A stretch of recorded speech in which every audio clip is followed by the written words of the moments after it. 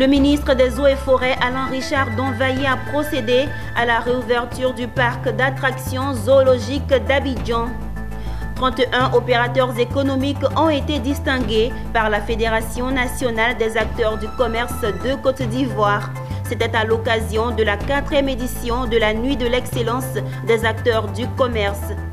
À Aboisseau, la Côte d'Ivoire a vécu au rythme de la quatrième édition du festival Sud Komoué à Et puis à Yamoussoukro s'est tenue la cérémonie des prix Ebony où les meilleurs journalistes de Côte d'Ivoire ont été récompensés.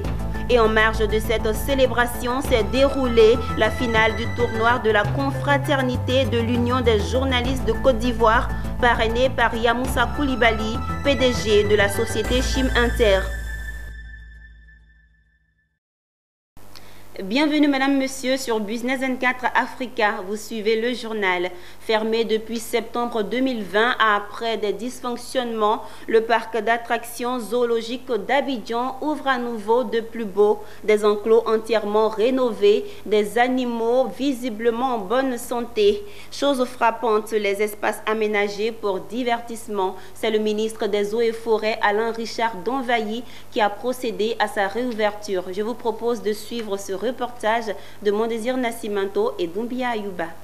C'est un parc entièrement rénové qui a été ouvert aux hommes des médias lors de la visite avant ouverture du ministre en charge des eaux et forêts. Précédemment fermé en septembre 2020 pour dysfonctionnement, le parc d'attractions zoologiques d'Abidjan renaît de ses cendres.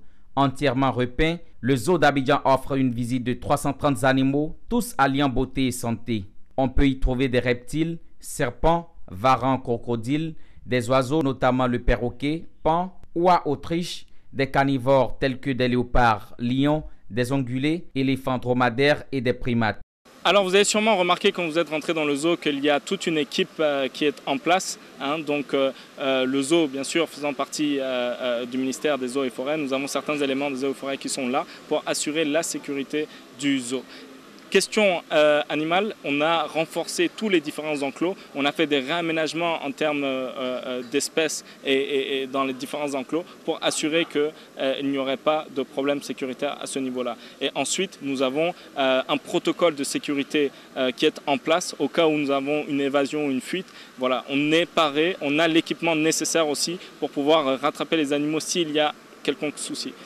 En dehors de ces animaux, le zoo d'Abidjan présente des espaces de divertissement et de rafraîchissement. C'est une rénovation qui a coûté environ 500 millions à l'État. Au cours de sa visite, le ministre des Eaux et Forêts Alain Richard Donvailly a appelé le secteur privé à se joindre à l'État pour pérenniser le joyau et sauvegarder la faune et la flore en Côte d'Ivoire. Une sauvegarde qui servira aussi pour l'éducation des jeunes générations. L'appel au secteur privé, vous savez, euh, le partenariat avec le secteur privé permet euh, donc de pérenniser les actions que nous menons. Nous avons vu depuis 50 ans, 60 ans, ce qui n'a pas été possible de faire avec les moyens de l'État, mais surtout avec les budgets d'un ministère en charge des parcs zoologiques. Alors le partenariat avec le secteur privé nous permet de faire plus d'investissements. Euh, nous, nous gardons le rôle que nous avons. Euh, ce n'est pas de gérer un zoo, mais c'est de faire en sorte qu'il soit bien géré aux normes internationales et que les investissements puissent se faire au fur et à mesure. 300 individus actuellement, 50 espèces, mais on va essayer d'avoir plus d'espèces ici, une palette plus, large d'espèces. Nous sommes en contact avec des pays où ils ont des, des, animaux qui sont prêts à échanger, à nous donner, en Europe comme en Afrique. Le zoo d'Abidjan, créé en 1930, était une propriété privée du sieur Ivan Cholette, qui l'a revendu en 1965 à l'État au soir de son séjour en Côte d'Ivoire. Il a fallu l'année 1972 pour voir sa nationalisation. Poursuivons cette édition en nous intéressant au volet formation. Il s'est tenu à l'Ivoire Golf Club à Abidjan un séminaire de formation portant sur la gestion des finances en entreprise. Organisé par le cabinet VAS Consulting, ce séminaire avait pour objectif d'acquérir des outils et des concepts fondamentaux en finances d'entreprise. Mireille Abalé et Marius Siri. Permettre aux dirigeants de briser la glace vis-à-vis de la finance. Briser la glace entre les finances et les chefs d'entreprise et permettre ainsi aux décideurs d'acquérir les outils et concepts fondamentaux en finance d'entreprise. C'est le but de ce séminaire dénommé Finance pour décideurs non financiers, organisé par le cabinet VAS Consulting. Objectif Acquérir les outils et concepts fondamentaux en finance d'entreprise, maîtriser le langage afin de mieux communiquer avec les services financiers, intégrer de façon générale la logique financière dans la gestion des activités afin de mieux booster la performance. Également, comprendre les exigences en matière de rentabilité et d'investissement. Aujourd'hui, je voudrais dire simplement à tous ces responsables, à tous ces décideurs, dirigeants d'entreprise, directeurs généraux, DGA, administrateurs, chefs d'entreprise, pharmaciens, tous ceux qui ont des, des membres du comité de direction, tous ceux qui gèrent des centres de profit, que c'est une opportunité. Il n'est pas bon de diriger une entreprise lorsqu'on ne comprend rien en finance. Et cela donne lieu quelquefois à des surprises désagréables. Donc ce que nous indiquons, nous, au niveau de VAS Consulting, nous avons mis en place cette formation pour les aider.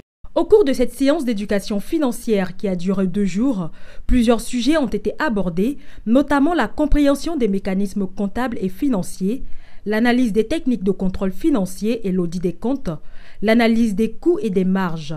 Les participants à la formation en sont ressortis avec de nouvelles connaissances sur la gestion des finances de leur entreprise. Parce que moi, j'aurais pensé que euh, pour entreprendre, il fallait déjà juste une idée. Après l'idée, euh, commencer à mettre en place un business plan. Je viens de comprendre par cette formation que, au-delà d'un business plan, il faut comprendre euh, le, déjà l'environnement de son affaire, le type d'affaires, qu'est-ce qu'on recherche? J'ai été vraiment édifié et instruit par cette formation. J'ai appris donc beaucoup au cours de cette formation, notamment l'élaboration de documents financiers, le, budget, les tableaux de bord.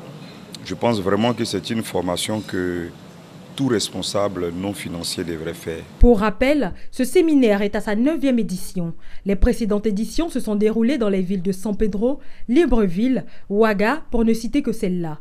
Le cabinet VAS Consulting est un cabinet conseil dont la vocation est de fournir aux entreprises plus de valeur ajoutée dans leurs interventions. La quatrième édition de la Nuit de l'excellence des acteurs du commerce s'est tenue le week-end dernier dans la commune du Plateau. Au cours de cette cérémonie, 31 opérateurs économiques ont été distingués par la Fédération nationale des acteurs du commerce de Côte d'Ivoire. Une distinction qui les appelle à se transcender, selon le président du conseil d'administration de la FENACI, Konena Nourgo et Ismaël Doza. Ils sont 31 opérateurs économiques dont les mérites sont reconnus ce jour au cours de la quatrième édition de la Nuit de l'Excellence organisée par la FENACI, Fédération nationale des acteurs du commerce de Côte d'Ivoire. Ces bénéficiaires, issus de 24 catégories, sont récompensés pour leur vertu, compétences et professionnalisme au travail et leur résilience face au coronavirus. Selon Mauro Farikou, président du conseil d'administration de la FENACI, cette cérémonie de distinction s'inscrit dans la vision du président de la République de promouvoir l'excellence, une célébration qui appelle les commerçants à se transcender. Les commerçants sont souvent accusés à tort qu'ils sont cause de la cherté de la vie, mais les commerçants subissent. Et je pense que très bientôt, nous allons essayer de décliner tout ce que nous subissons qui pousse un commerçant à faire de la surenchère. Au cours de cette cérémonie, plusieurs prix ont été décernés. Entre autres, le prix Ahmed Bakayoko de la cohésion sociale attribué au ministre Kwadjoko Nabertin pour ses actions de paix et de cohésion sociale. Le prix de meilleure collectivité dans la promotion du commerce a été raflé par les mairies d'Ara et de Guibérois. Le super prix d'excellence Alassane Ouattara a lui été raflé par l'opérateur Kobe. Quant au prix du secteur transport, il est revenu au patronat des transporteurs. Je suis d'autant heureux euh, du prix que nous venons encore une fois de recevoir ce soir. Je rappelle que c'est le deuxième prix en deux semaines que nous venons de recevoir, que le Haut Conseil du patronat des entreprises de transport routier vient de recevoir. Cela traduit les efforts que les transporteurs routiers de Côte d'Ivoire sont en train de mener en ce moment pour quitter le chantier de l'informel pour aller petit à petit vers le chantier de la professionnalisation eh C'est un sentiment de joie de se voir être honoré pour ses efforts de paix, les actions de cohésion et de vivre ensemble. Intervenant au nom du président de l'Assemblée nationale, parrain de la cérémonie, Sidiki Konate a appelé à se pencher sur la question de la sécurisation des marchés contre les incendies. On sait, et je le dis aussi en tant que fils de commerçant, qu'un marché, un magasin qui brûle, ce n'est pas comme le bureau du plateau qu'on peut remplacer tout de suite, on peut remplacer les ordinateurs. Là, c'est une vie qui brûle. C'est une vie qui brûle. Il est important d'apporter vraiment une réponse à cette question. Cette quatrième édition de la Nuit de l'Excellence s'est terminée en beauté avec l'artiste Daouda le Sentimental en prestation. Instauré en 1993 par l'UNJCI, entendez Union nationale des journalistes de Côte d'Ivoire, les prix Ebony se tiennent chaque année et sont décernés aux meilleurs journalistes de Côte d'Ivoire dans les productions d'enquêtes, d'interviews et de reportages. Cette année, le super prix Ebony a été remporté par Boussou Kwasi de la radio communale d'Adjamé. Et en marge du week-end Ebony, il s'est tenu la finale du tournoi de la confraternité de l'Union des journalistes de Côte d'Ivoire, parrainé par Yamoussa Koulibaly, président directeur général de la société Chim Inter, une société spécialisée dans le domaine de l'aménagement, du foncier et de la construction immobilière. Charles Kouakou et Diane Cablancan.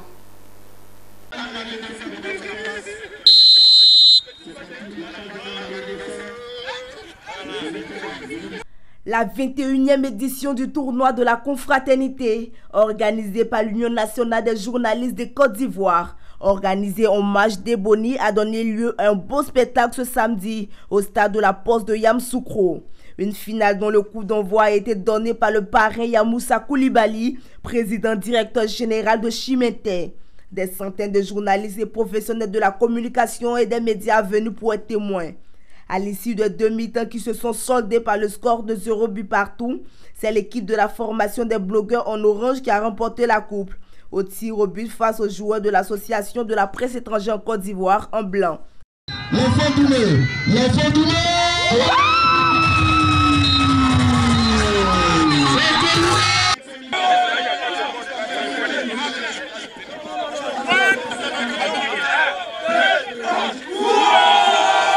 Se félicitant de la parfaite organisation de la compétition, le président directeur général de Chimete, société spécialisée dans le domaine de l'aménagement du foncier et de la construction immobilière, a donné ici les raisons de son parrainage.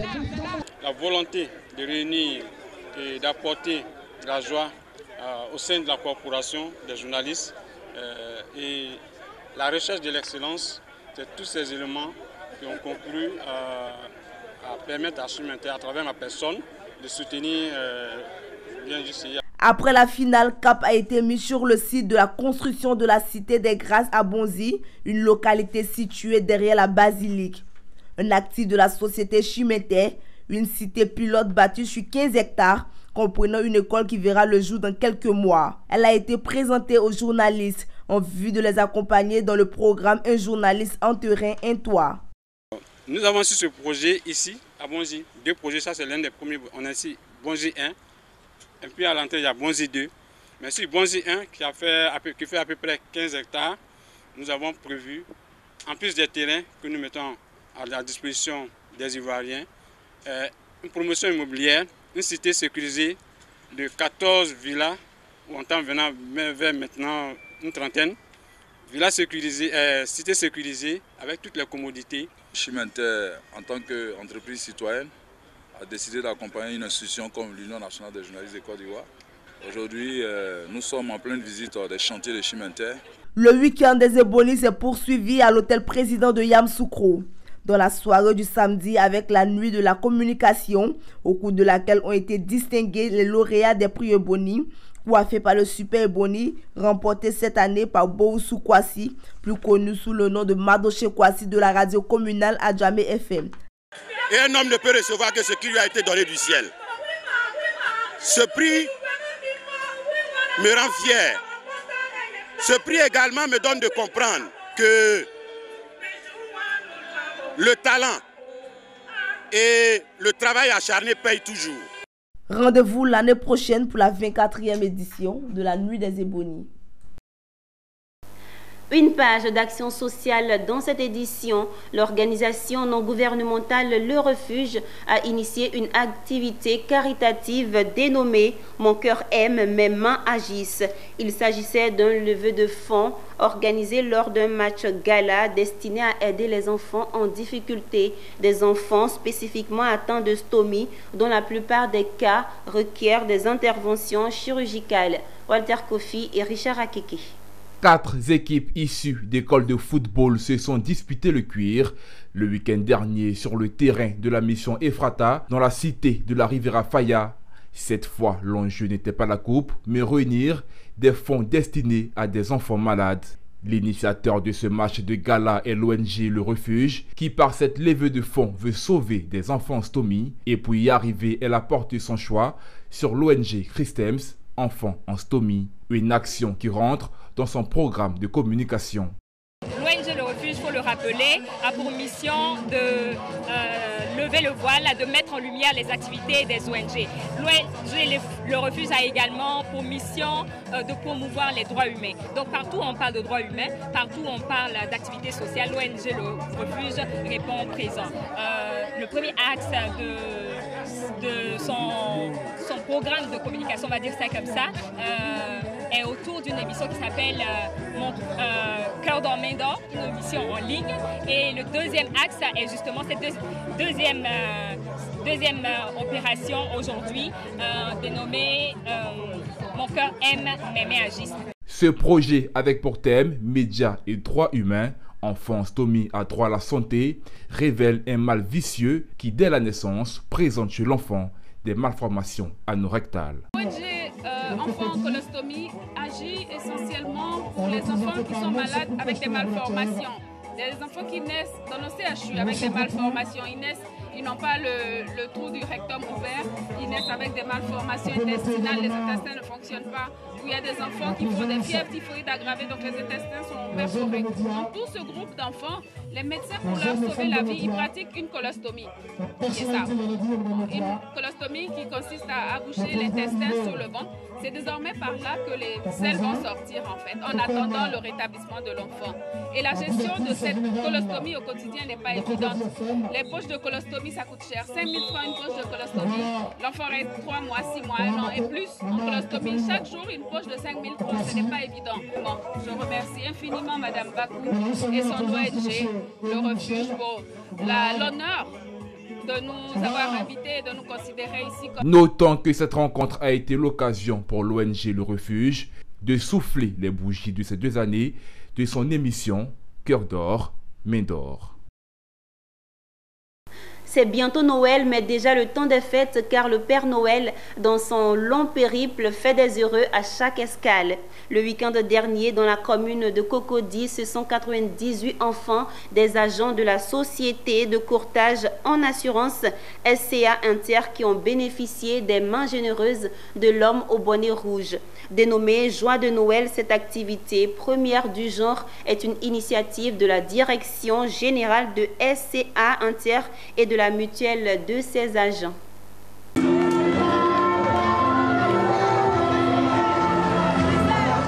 ces chou à la joie débordante qui reçoivent des cadeaux du célèbre porteur du bonnet rouge et blanc. Un Père Noël de circonstances, mais un Père Noël tout de même, car pour les enfants, un Père Noël est un Père Noël. Merci Papa Noël de m'avoir donné cadeau. Je t'aime Papa Noël. Je voudrais dire merci à papa et maman. Et merci aussi à NCA Inter. Merci Papa Noël. Je vais travailler bien à l'école. Derrière le Papa Noël de ce samedi 18 décembre se cache une entreprise et sa mutuelle. La société de courtage en assurance SCA Inter et la MISAS, mutuelle de solidarité des agents de SCA Inter. Pour nous, c'est une façon de récompenser, de remercier et de redonner, de redonner à ceux qui nous donnent et même à ceux qui ne nous donnent pas. Et c'est un moment de joie, de bonheur, euh, de partage et d'amour. Donc voilà un peu la Noël chez SCA Inter pour témoigner un peu de notre volet business vrai mais social. Nous sommes dans le domaine du courtage et de l'assurance maladie. Il y a une charge de travail avec euh, euh, la pression qui existe.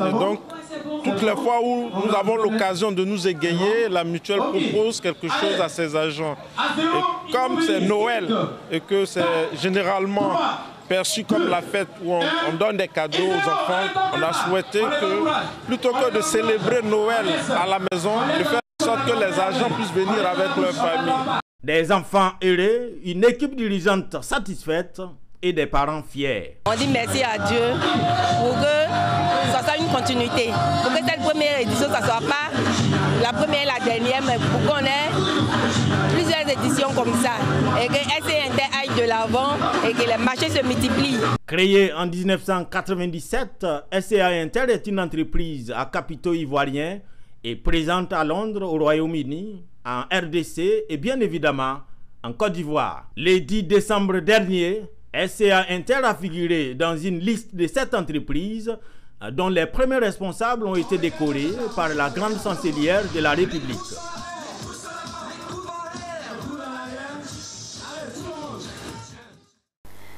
C'était un reportage signé Issa Badini et Marius Seri. Du 4 au 19 décembre 2021, la Côte d'Ivoire culturelle et touristique a vécu au rythme de la quatrième édition du Festival Sud Comoé à officiellement lancé récemment en présence des autorités administratives, coutumières et politiques de la région du Sud Comoé.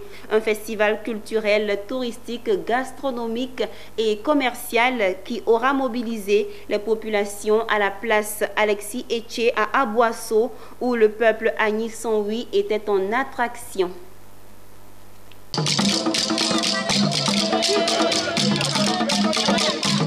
Danse abodant, kente, cérémonie de puberté, cérémonie de la nouvelle accouchée, musique tradimoderne, parade royale, nous sommes de plein pied dans la culture Agnès 108 d'Aboisseau.